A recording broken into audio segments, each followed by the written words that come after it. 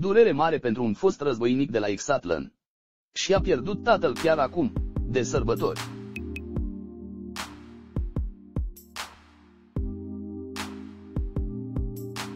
Anunț sfâșietor pe pagina de Facebook durere mare pentru unul dintre cei mai buni războinici de la Exatlan. Este vorba despre Alin Andronic, care și-a pierdut tatăl în urmă cu puțin timp.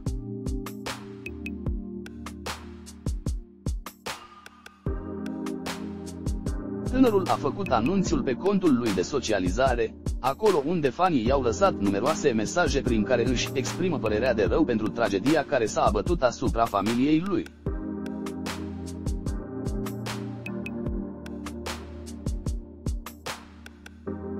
Dormi în pace, tată drag, a fost mesajul plin de durere transmis de Alin Andronic, alături de o fotografie cu părintele lui.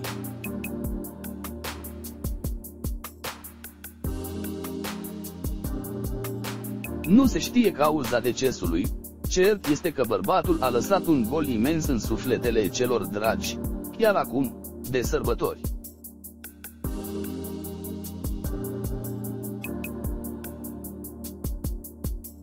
Alin era extrem de atașat de familia lui, pe care declara în trecut că și-ar fi dorit să o ajute cu bani în cazul în care va câștiga competiția Exatlan.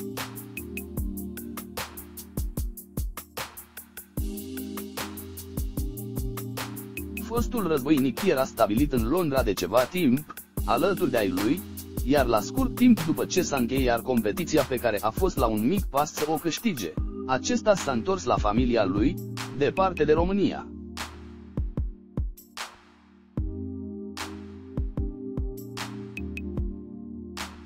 Tânărul sportiv nu a pierdut nicio ocazie în competiție pentru a declara cât de importantă este familia pentru el, dar mai ales cât de mult ține la sora lui, despre care spunea în emisiune că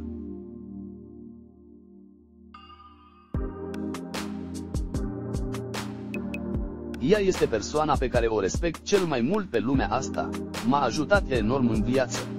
O iubesc mult și abia aștept să o întâlnesc.